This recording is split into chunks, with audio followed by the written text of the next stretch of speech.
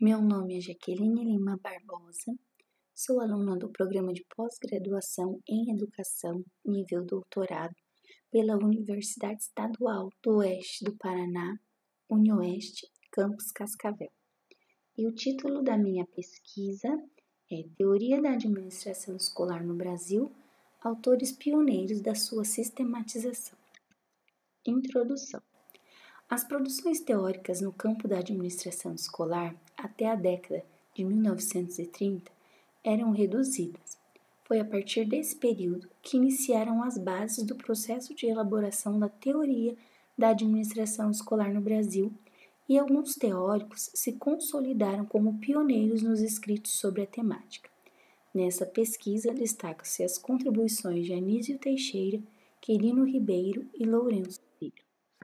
Objetivos: compreender o contexto histórico da produção das bases da teoria da administração escolar no Brasil, apontar alguns teóricos que se consolidaram como pioneiros na sistematização da temática, identificando como suas produções subsidiaram a sistematização da teoria a respeito da educação e, primordialmente, sobre a administração escolar.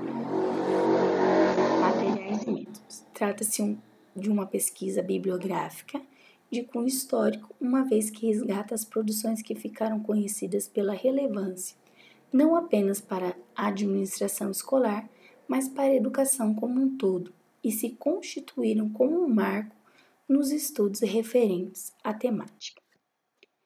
Vale destacar que antes desse período de 1930 já havia a prática administrativa dos serviços escolares. O que não havia era uma sistematização de uma teoria a respeito do tema. Então, é a partir da produção desses autores já citados que vai se iniciar a sistematização dessa teoria. Dentro das contribuições, das concepções que contribuíram para a edificação das bases da administração escolar no Brasil, encontra-se os escritos de Anísio Espínola Teixeira. Entre as obras por ele produzidas se encontra Educação para a Democracia, Introdução à Administração. E é nessa obra que Anísio Teixeira aponta que as ações em âmbito educativo possuem lenta obtenção de resultados, requerendo dos seus dirigentes e administradores esforço contínuo com vistas a oferecer à escola meios de se desenvolver. Outro autor que se preocupou em teorizar a administração escolar foi José Quirino Ribeiro, que publicou em 1952 a obra Ensaio de uma Teoria da Administração Escolar, na qual ele elaborou sua teoria sobre a temática em questão e delimitou seu entendimento a respeito da educação como um processo geral que envolve a vida toda dos indivíduos e dos grupos humanos, abrangendo não só os aspectos informativos, como também e ao mesmo tempo os formativos, que baseiam e orientam todas as suas atividades. E um, um fato que Quirino Ribeiro destacou foi que, dentro dos serviços escolares, há necessidade de ter a unidade de esforços para evitar o dispêndio de recursos para a obtenção dos resultados.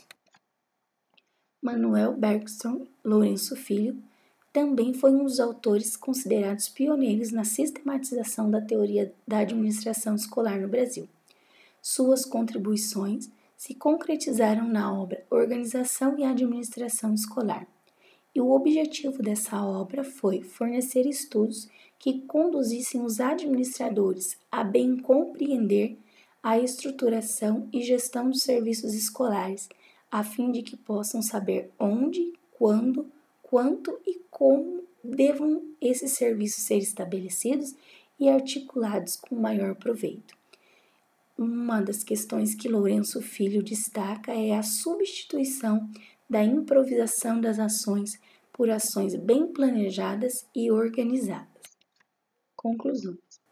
Em relação à administração escolar, constata-se que foi somente a partir da década de 1930 que se iniciaram os primeiros estudos teóricos brasileiros sobre a administração escolar. Os autores pioneiros na temática corroboraram com a formação do quadro teórico da administração escolar no Brasil, visando a formação de profissionais para atuarem no ensino, com vistas a garantir maior eficiência dos serviços escolares, a fim de evitar o dispêndio de recursos por meio de ações como planejamento e organização. As referências utilizadas nessa apresentação e deixo os meus agradecimentos ao programa de pós-graduação em educação, nível de mestrado e doutorado da UniOeste, campus Cascavel.